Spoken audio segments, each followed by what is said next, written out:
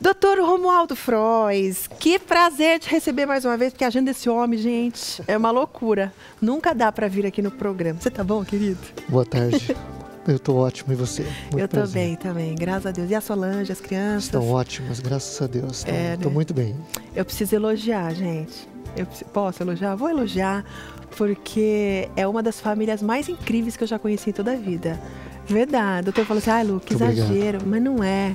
As crianças, que não são crianças, é o Lucas e a Giovana. É. Lucas tem 10. Tem 10 anos e a Giovana tem 11 anos. Pensa numa educação. Mas uma educação é, por favor, é obrigado assim, excesso. Eles são uns queridos. É uma família exemplar mesmo. Parabéns, tá, doutor? Tomara, muito obrigado. É, mas, na verdade, isso é mérito da Solange. Ah, é? Aí, Solange, culpa é sua. Isso é mérito dela. Pai só ajuda. Pai só ajuda, né? Bom, nosso assunto com o Dr. Romualdo Frois é cirurgia plástica em homens. Doutor é especialista no assunto, né? Pois bem, quando a gente fala em barriga de homem, a gente tem algumas dúvidas com relação a como eliminar essa gordurinha. Lógico que a fórmula convencional a que todo mundo deve fazer todos os dias é uma boa dose de exercício físico e alimentação saudável. Mas sempre sobra aquela gordura que não sai de jeito nenhum. Né? Então vamos começar falando daquela gordura que está super em excesso. Depois a gente vai afunilando.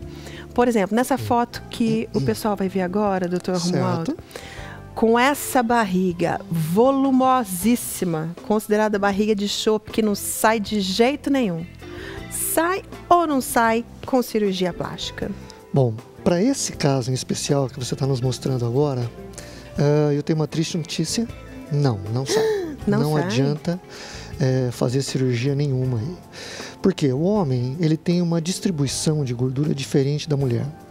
A mulher, mesmo que tenha um abdômen um pouco mais globoso, ela pode fazer uma lipoaspiração, que a quantidade de gordura que existe na, no abdômen, do lado externo da mulher, é maior do que no homem. Uhum. Ou seja, o homem tem uma gordura mais intraabdominal.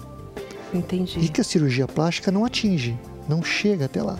Uhum. Ou seja, numa barriga igual essa aí, só tem uma, um, só tem uma coisa a ser feita. Uma solução? É, dieta de... e exercício. Não, não tem outra, outra maneira. Então, que quem tá com essa barrigona aí quiser limpar, não adianta. Nem tenta. Nem, Nem tenta. tenta. Aliás, poder fazer pode, não vai ter resultado, mas pode. Entendeu, Gustavo Godoy? Você entendeu, né? Tá. Tadinho do Gu, não tá com essa barrigona aí, não.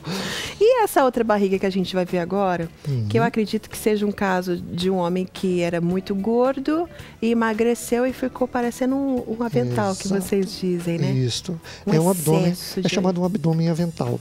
Uhum. Uh, esse é o caso ideal para uma cirurgia que no caso do homem é chamado de dermolipectomia. O que, que, é isso? Dermolipectomia é retirada de pele e gordura que está sobrando, entendeu? Então nós tiramos, fazemos uma incisão na parte inferior do abdômen e retiramos todo aquele excesso que está sobrando desse caso. É a mesma abdominoplastia feita em mulheres ou não? Não, não. É, abdominoplastia, quando a gente faz em mulher, devido à gestação, normalmente, existe uma separação dos músculos reto-abdominais. É, então, na mulher, a gente tem que fechar esse, essa musculatura novamente, para que a barriga volte à posição anatômica normal uhum. e aí sim retirar o excesso.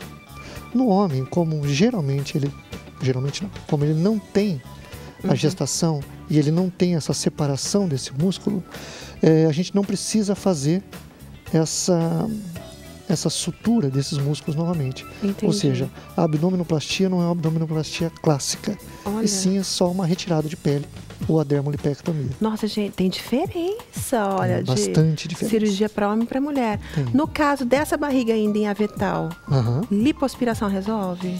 A lipoaspiração vai servir como um complemento nesse caso, certo? Porque é, a maioria da gordura desse paciente que perdeu muito peso, no caso do homem, é só uma retirada de pele realmente.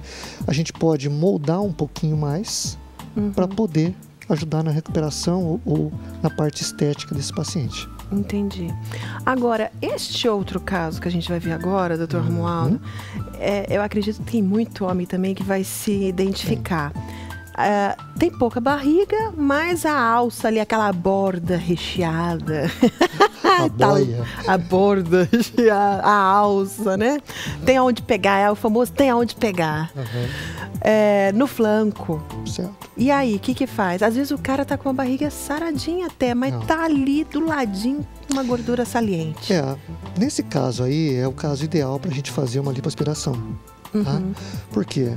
É, a lipoaspiração, a gordura, a célula de gordura, ela é dife- diferente, assim como as células nervosas, elas não se dividem após 4 a 6 anos de idade.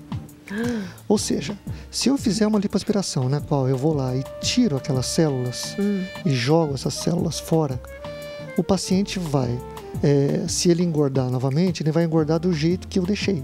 Uhum. Ou seja, aquela resposta daquela célula que tem perto daquela, daquela gordura ali, ela não vai ser a mesma resposta que ele teria se tivesse essas células. Entendi. Entendeu? Entendi. É, outro caso interessante, outro fator interessante nesse caso é que a gente pode esculpir essa gordura Uhum. de uma maneira a tornar esse abdômen mais atlético, por exemplo. Ah, é? Com a É. própria gordura? É, eu posso tirar em determinadas é, porções do abdômen uma quantidade maior de gordura Hum. e, por exemplo, fazer uma linha que a gente chama linha alba Uhum. ficar mais aprofundada, ou na região onde estão os músculos Ah. abdominais, eu posso aprofundar aquela região e fazer os gominhos, por exemplo. Para o Entendeu? mundo! E mulher também dá pra fazer isso? Dá, dá para fazer isso também. Quando? É, Ontem? assim, assim como dá para, naquele caso que você nos mostrou, pegar aquela gordura e enxertar no glúteo, No bumbum. no bumbum no- do homem, até aquele homem que não tem, não tem uma definição de glúteo Tem homem que tem o bumbum hatch, né? Sabe o bumbum hatch? hatch. Tem um bumbum sedã e tem um bumbum hatch. Fica Aí- muito interessante, fica Sim. muito legal, fica muito legal. Lógico, dificilmente Uhum. eles chegam com essa proposição no consultório, Uhum. mas uma vez que você, que o paciente está lá, você tem que propor para ele tudo que você acha que Uhum. pode melhorá-lo. E vai, faz, vai partir daí ou não Uhum. a decisão de fazer ou não tal procedimento. Ah, mas a maioria deles topa É, fazer né? isso daí, mesmo negando para todo mundo depois. Muito legal. Muito legal. Doutor Romualdo, quero que volte mais. A gente já tem que, a gente tem que agendar hoje, pro ano que vem, o doutor voltar. Entendeu? Adorei. Adorei. Isso é um papo legal, né? obrigado. De conversar sobre a gordura da barriga do homem. Acho massa. Obrigada, doutor. Um ótimo final de semana, tá bom? Obrigada. todos nós. Muito obrigado.